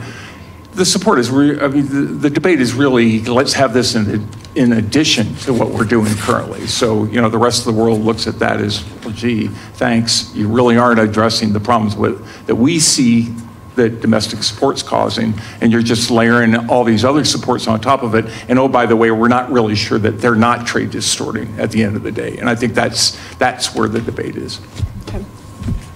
Um, one thing I would add about the, this is a massive topic, but one thing from our little sector, part of the world is um, we obviously have a group of harvesters in the United States and most of, most of the rest of the world that take very seriously their obligation to the resource. They don't have a job for their grandchildren in a sector that is very much family driven if they don't have the resource in two, three generations. Um, so we take that very seriously. Um, and I was harking back again to what Ambassador Schwab said on this one, we feel very confident that the FAO is the, is the best equipped international organization to look at these issues, and the private sector, which is highly organized in this space in the developed world and drives a lot of change in the, um, in the non-developed world in terms of um, harvest operations, sustainability, et cetera. Um, So that doesn't mean that the WTO has no role whatsoever. I wouldn't say it categorically, but what I would say is that um, we do feel fairly good that our, our protein is a highly sustainable, highly environmentally conscious protein as is, and we feel fairly good that the existing international, um, the best international, uh, multinational entity equipped to take that on and do better is the FAO in most, in most instances. And indeed, if you look at the fisheries um, agreement from last year, you will see in the footnotes a lot of references to FAO definitions and statistics and things, which to my mind makes the point that FAO is, um, is where it's at when it comes to this. Okay. Stephen? I'll give you a, a bank shot answer, and I'll say that ITIF does has a Center for Clean Energy Innovation that has issued some reports on this. Uh, but in my domain, which is information and communications technologies, ICTs, I should point out that the uh, World Economic Forum finds that ICT-enabled technologies can reduce global emissions by up to 15% by 2030, or one third of the reduction we need by then. How can we get greater global penetration and use of ICTs? Well, one way would be by expanding the Information Technology Agreement, the ITA, which eliminates tariffs on hundreds of ICT goods. Uh, we could expand both the number of countries that are in the ITA. The original ITA from 1996 is to 82 countries. An expansion in 2015 only has 53, so we could expand global participation in the ITA. More significantly, potentially, uh, an initial set of companies and countries have come together to look at what a second expansion of the ITA and ITA 3 might look like. And at September 2023, we released a report uh, which found that if we uh, did an ITA 3 that brought 400 more products into the tariff eliminating rubric of the, IP, uh, of the ITA, including things like solar cells, lithium ion batteries, uh, smart water heaters, smart sensors, et cetera, uh, that this could actually grow the global economy by, by $750 billion over the next 10 years and help address some of these climate changes. Great, terrific. All right, so we're covering a- an organization that covers the global economy, so we've barely scratched surface here, but we appreciate you guys giving a flavor of what's going on in your areas. I think I could take one question from the audience if there's anything out there. Um, Otherwise, we can uh, go on to the next panel because we have three more uh, panelists here to talk, talk to us. And I just appreciate your time and, and coming up today. Thank you so much. Great.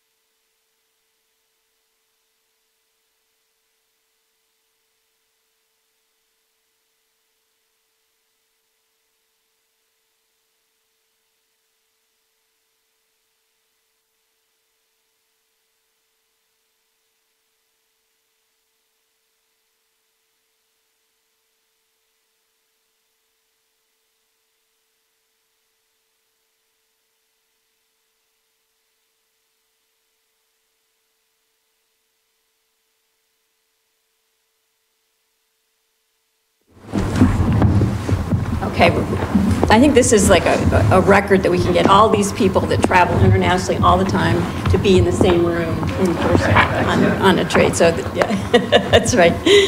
So, good, I, I think um, we're just really lucky to have you folks here to kind of talk about how you're looking at the ministerial.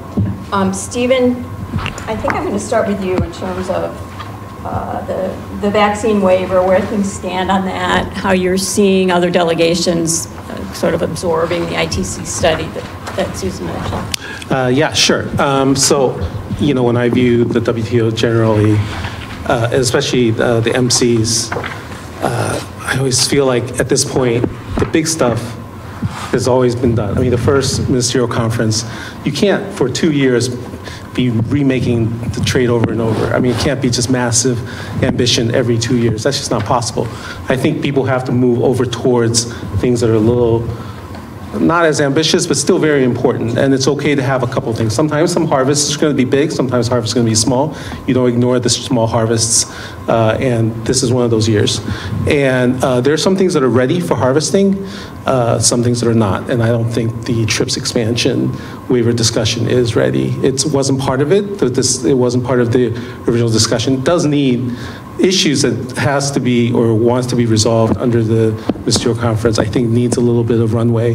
They need some discussion. Ambassador Schwab mentioned, or uh, was one of the ambassadors, uh, mentioned that, you know, at, at MC12, you work your way up into what's going to be in MC13, same going forward. TRIPS waiver, TRIPS health, uh, you know, in MC12, they had a, a, a they, they forced through a decision. Uh, the ITC report came out. Everybody thought it was going to be some panacea that was going to say one way or another what the U.S. thinks. It doesn't. Um, and to the U.S.'s credit, they made it available immediately. They wouldn't try to hide it. They was like, look, this is what it is. There are no findings. Uh, there's just some facts, and there's facts for everybody. That means the discussion needs to continue. It's not done yet. Nobody on either side is, you know, definitively going one way or another. It's just not right. Yeah, and then I, I have to back up and introduce you, Stephen, which is, and I apologize for that, but you lead your firm's practice in Geneva, and you were uh, nine years at USTR as a principal attorney on China matters, and then lots of responsibilities in Geneva as well. And we're really lucky to have you here to, to talk about some of this. Um, Eric, I'd like to talk to you next, give us a sense of kind of the worker-centric perspective on where we are, um, what we need to be thinking about in terms of outcomes. What do you see the stakes for, for the United States at the WTO?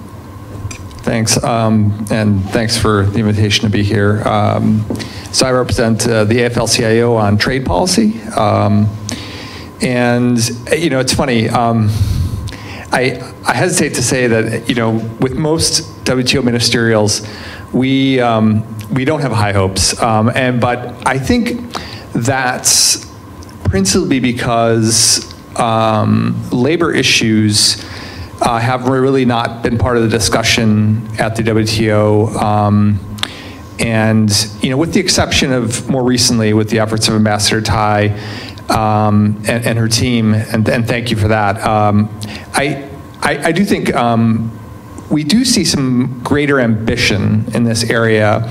And Ambassador Schwab mentioned something I think that's really important.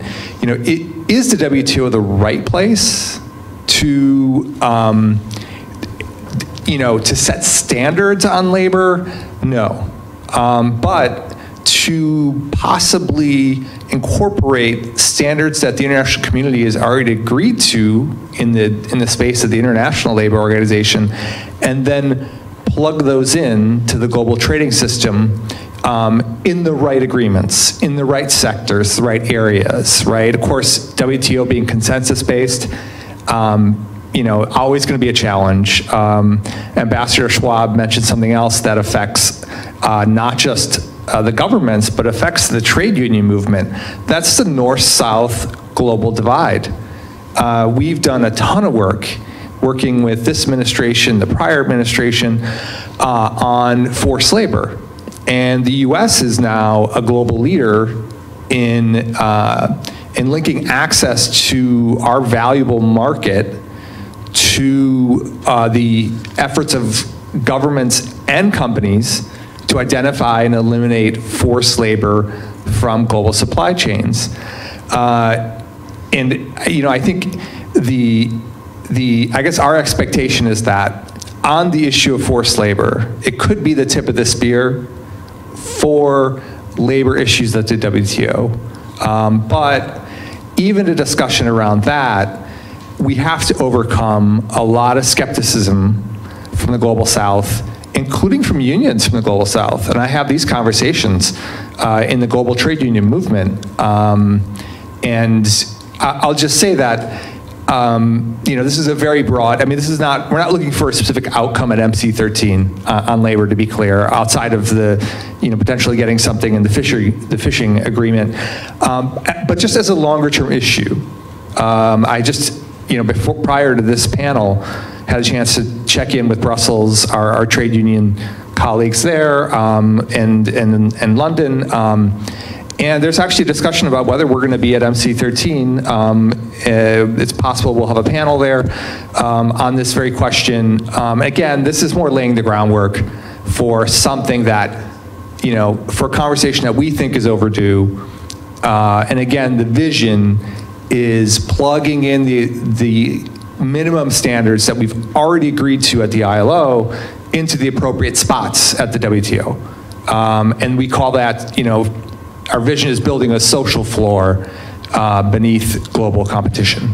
Um, so that's not always, you know, a race to the bottom, which is a, which is definitely a perspective that you know an impression a lot of people have in this country and, and other places. So. Um, I'll, I guess I'll, I'll, stop there for the moment. I've got other thoughts on, on things that have come up, but leave some time for my fellow panelists. Let me ask you, um, in terms of what, what are these countries in the global south resisting and why? Good, good question. Um, I think the concern, well, there's, I, I think broadly speaking, they're disappointed that the Doha development round, which has been referred to, um, did not, you know, for a lot of reasons, um, not a lot got accomplished. And I think there's disappointment there, and I think that's understandable. So I think, and why I raise that is because they see this as the forced labor issue as, and it's not, they're not, as being pushed by the global north.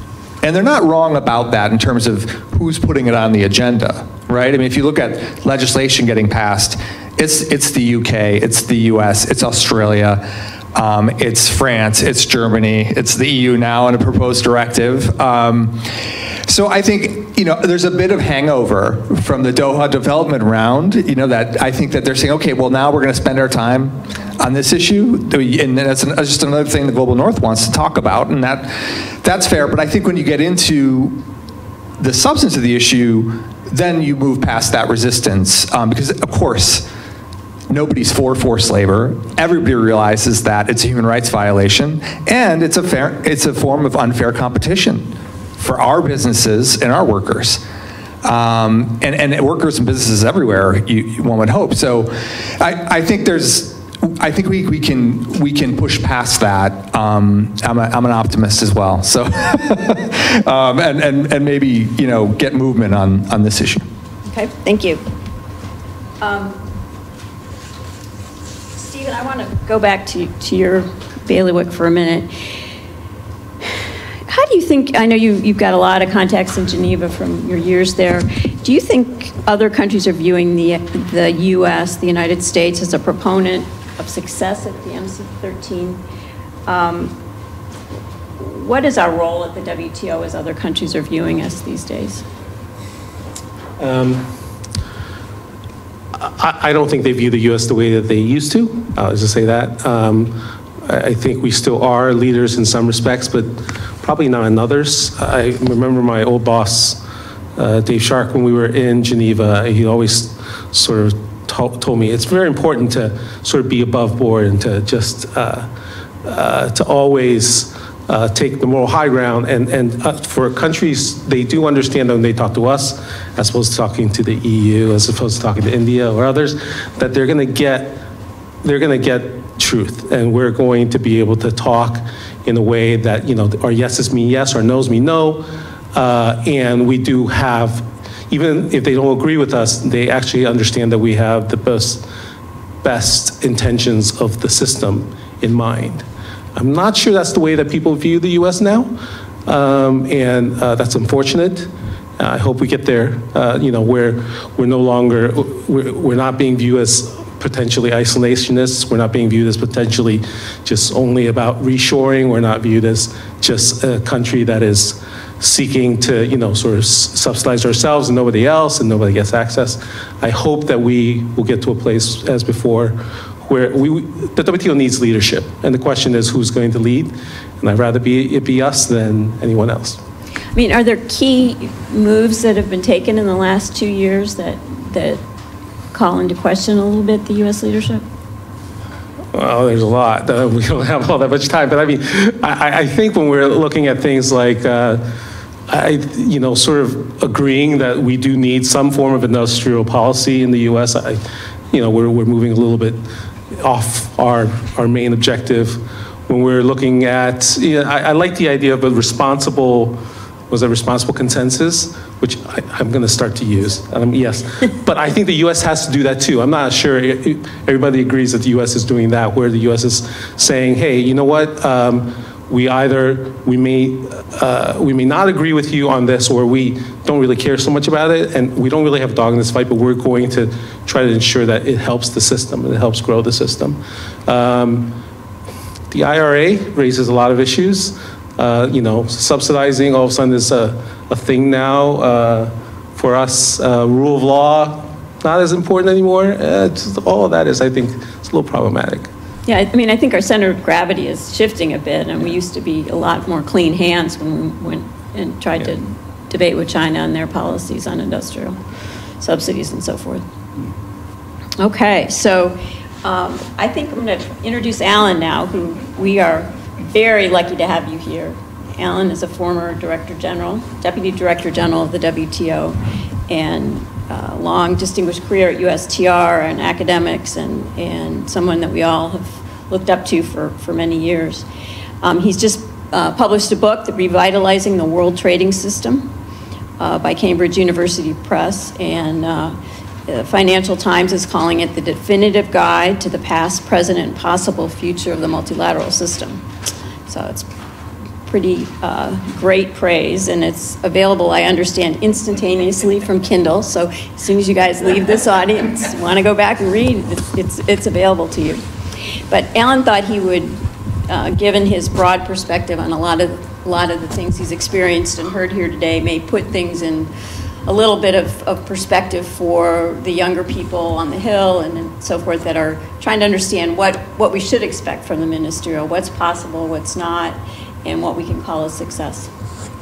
Thank you very much. It's a pleasure to be with you. Uh, it's a pleasure to have uh, sat here and listened to the wisdom of uh, not only the prior panel, but uh, Maria Pagan, who represents us very well in Geneva, and uh, Susan Schwab, who uh, is always amazing.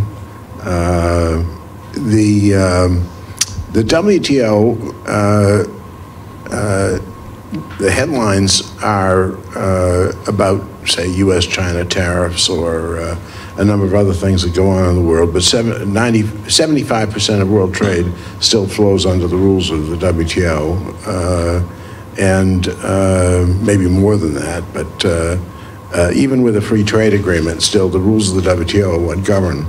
Um, and it's uh, extremely important to this country. Uh, the uh, the U.S. is not seen the way it was, in part because uh, the president before this one said uh, he thought we'd leave the WTO, and uh, he's saying now the the leading Republican uh, contender, uh, who's likely to be the nominee for the Republican Party, is saying uh, wants to impose 10% tariffs on everybody, uh, and um, that is unsettling, I think, others, because you look at the polls, as everybody does. I mean, the U.S. election is uh, looked at a little more closely than some others by the members of the WTO, and uh, it is uh, a real question of whether the U.S. is a reliable partner.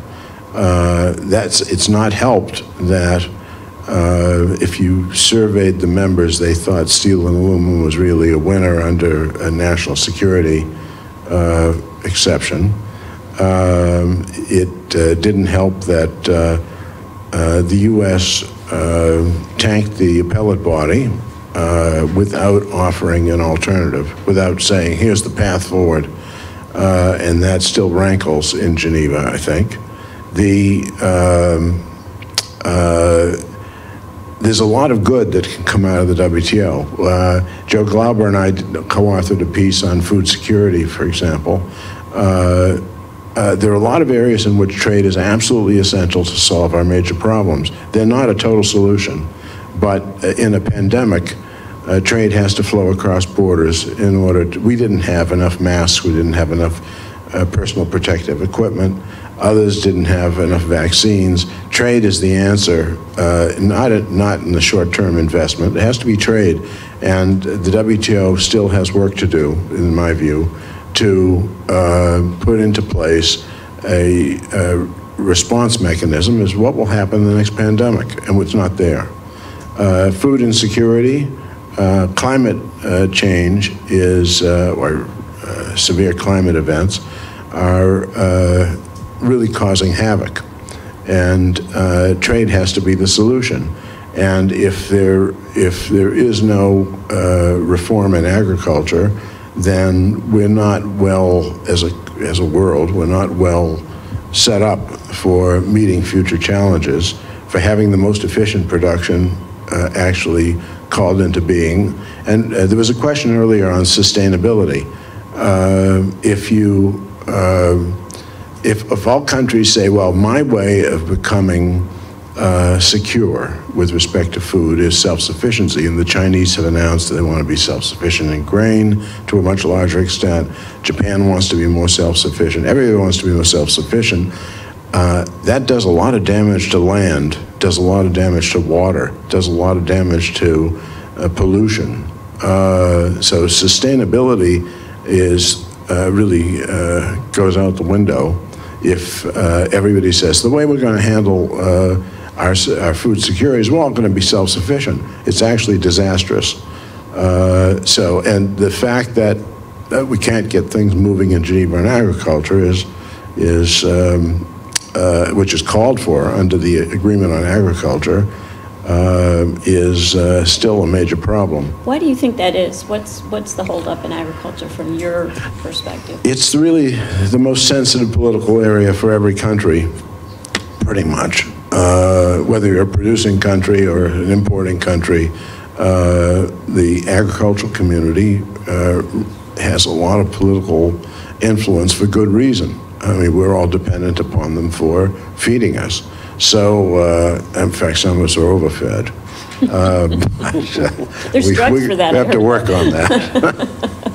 Uh, The, um, uh, the, the- there's so much to be done uh, with respect to pandemics, with respect to food security, uh, with respect to getting agriculture uh, back on the agenda. Uh, We talked earlier, what are the missed opportunities now, which is certainly not going to come up in this uh, upcoming ministerial, uh, apparently, environmental goods agreement that uh, Susan uh, Schwab mentioned. Uh, The, uh, makes absolutely good sense, and it's not on the agenda. Uh, Updating the uh, intellectual, pro- the, uh, excuse me, the um, information technology agreement. Uh, You know, why in the world aren't we doing that? We are putting a lot of money into semiconductors, we're putting a lot of money into artificial intelligence, and we're saying, ah, but others can put tariffs on the latest chips and on uh, the latest equipment. The ITA ought to come back uh, and uh, be brought up to date. The pharmaceutical agreement, we have zero tariffs on pharmaceuticals. Uh, China doesn't, India doesn't. Uh, You know, why, why is that uh, out of the question? Uh, This upcoming ministerial, I'll just say one last thing uh, on it, is um, there seem to be, in many ways, more risks than benefits. Um, But that can change. Uh, has outlined a number of areas where real work is going on, so that can be, that can be changed. But to uh, say, um, the moratorium has gone on electronic transmissions, I know the OECD came out with numbers, but uh, no one knows actually how bad it could get in terms of putting tariffs on uh, digital commerce one way or another. Uh, The general agreement on tariffs and trade, uh, general agreement on, tar- on uh, trade and services uh, has some obligations and they're important, but uh, there could be um, uh, an, a free fire zone when it comes to the digital economy. And uh, um, as just been mentioned, uh, there's no case has been made for reducing intellectual property protection uh, for uh, therapeutics and uh, and um, uh, other, other products, diagnostics, uh, you know, we could have some real negatives that could come out of this, uh, this ministerial. Uh, If this ministerial is a failure, uh, life actually goes on. You know, in 2017, everyone in Buenos Aires, except me, I think, said, you know, this is a, this is a, just a horrible result. And what happened? The joint statement initiatives were begun, and actually a way forward was found. So I think uh, I rely on Maria to have uh, great ingenuity to uh, uh, snatch uh, progress from uh, all the forces that would bring about defeat. No one, no trade negotiator walks away from a negotiation that has failed, a meeting that's failed, and gets a lot of credit for it, in fact, even if they have great excuses and reasons why it didn't work. Uh, um, if anything is remembered from the, in a positive sense, of the Trump administration, and I know people have to work hard on that, uh, NAFTA was given a firm foundation politically in this country. It was renewed with uh, very strong support on both sides of the aisle. A lot of it had to do with labor being looked at more closely. Uh, some of it had to do with rules of origin with respect to the China issues. But uh, the fact of the matter is, it's no longer in doubt that NAFTA, the free trade in North America, is preserved. Um, and uh, looking back at this ministerial, looking back at this administration, there'll be a similar look at, uh, okay, what was achieved? And I think one of the detriments is pulling back on um, the three core elements on uh, the um, uh, digital area, uh, on uh, forced server loca- local- localization and free flow of data and source code. Uh, uh, that has to be recouped somehow uh, because the United States, to be a leader, has to be um, take some risks. Um, and I understand the necessity of maintaining domestic political support, but uh, that's that's that just needs some sewing. Right. Alan, in your view, is the U.S. business community committed to keeping the WTO in working order? What can they do to help Maria and, and the USTR team over there? I think that uh, there's a, um, there have to be things that look like they're of commercial value, or, or perhaps when there's a threat uh, for the business community to be mobilized. The threat now is loss of the digital um, uh, moratorium, and uh, I think that mobilized the digital community. When I was in Geneva at the WTO, uh, there were uh, very, very, very few visits from the private sector because we weren't doing enough. Uh, that was of direct commercial interest to them. Uh, maybe, you know, folks would come over for the public forum, but they would not otherwise bother to make the trip. Uh, they'd go to UNCTAD for a meeting on uh, um, the digital uh, space, but they weren't coming to Geneva uh, very often. Uh, some from the agricultural community were, but the only way to have interest is to, and this is partially the fault of the business community, is to say, here are the things we need. Uh, here's what. Here's how we would handle the pandemics in the future. Here's how we would handle food security in the future. Um, uh, here's here are our remaining objectives. The fact is, uh, in most major developed markets, tariffs are already low, and uh, um, the gains are not seen to be there. Um, and uh, but you know, business services largely not covered. Uh, you know, so GATS, the General Agreement on Trade and Services, has to be improved.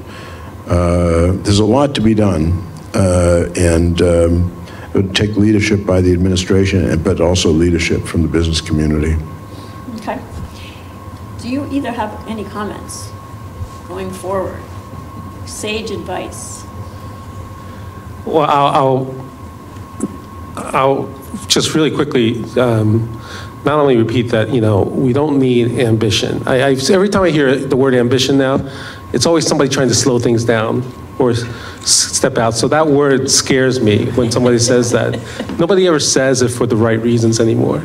Um, and I think it's important to get the small gains, and it's important, I think it, you, you both have said it, not to, not to have somebody just trying to stop everything uh, and using it as a, as, a- as, as a reason. I- You have to come somehow just be able to move issues on their own. There, there are objective, common sense solutions to an issue. Stop horse trading. There's not enough stuff out there to horse trade on. And I'd say that that's probably the success for the future MC is really. I mean, you know, maybe 10 years from now, 20 years from now, we'll have another big MC. But right now, let's do the baby steps. Let's sort of rebuild and re- solidify this organization. Got it. Yeah. Along those lines, I, my piece of sage advice for, for the WTO, and I guess this is for the member states as well, is um, I don't think this is a time when it comes to industrial policy, uh, with everything that's going on here, the massive, incredibly necessary investments that we're making and through the IRA, through CHIPS, um, which are have a lot of support um, among our public um, and certainly among the labor movement. Um, and if you can look at the, what's happening in the EU, they're making analogous investments, not quite at that scale. Um, and I don't think it's a time for folks to look to pick a fight. Um, and folks mentioned before, maybe there'll be a, you know, a, WTO case filed around the IRA. Um, I actually think that would be a disaster for the WTO um, if a case is filed and the panel comes out and finds that the IRA or something that, you know, is not WTO compliant, I can't think of one thing that would put more wind in the sails of Donald Trump and his stated intention to leave the WTO than something like that. Um, I think it's that, that that is underappreciated in my view. So I, I think you know the global trade rules have to find a way to accommodate the uh, the industrial investments um, that are being made for climate change and for other reasons. Right. And, and I just Could want. I add, just add one, one point, and that is, uh, with respect to dispute settlement, some things can be done. They can't be solved in this ministerial, but some things can be done. Uh, No more appeals into the void. Block that, end that. Uh, And if you want to bring a case, you have to be willing to accept a result one way or another. It may be through a, an interim arrangement, it may be through just a bilateral agreement with the, among the litigants, it could be just accepting the panel finding as final, but uh, uh, no more fraud. Uh, The president of Indonesia, when they lost the case on uh, uh, minerals, said, "No problem, we're appealing." He understood. It, you, there's nothing there. If you want nothing to be there, there's nothing there. That's got to end. And could there be a down payment on reform? There are some things that were in the Walker Principles, the so-called, and uh, I'm sure a lot of a lot of work has been made that uh, Maria has been in the middle of. Uh, a down payment could be made towards reform, and it would restore a feeling that the U.S. is really there, uh, is very serious about uh, uh, rectifying, uh, reforming, making the organization better.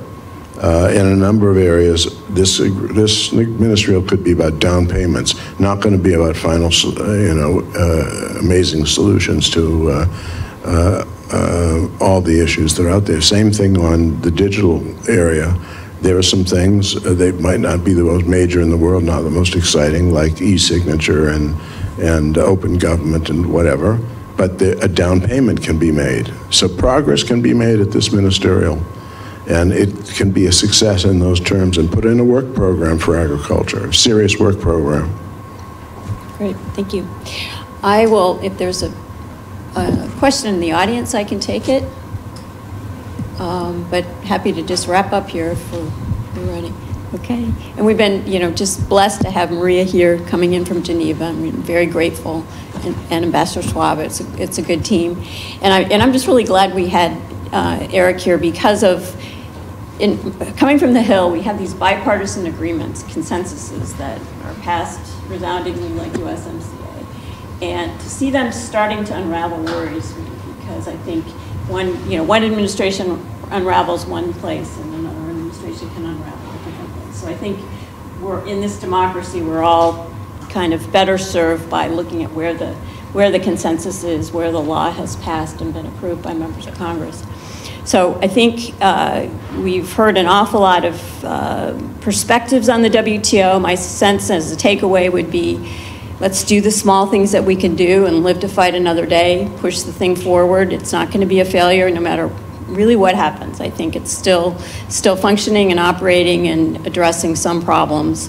And we just need to get, I'm not going to say ambitious, but next time around, we need to find some things that are more marketable and can be sold as, as uh, real wins. So, but thank you for everyone for preparing and coming and contributing because we appreciate it. Thank you very much. Thank you.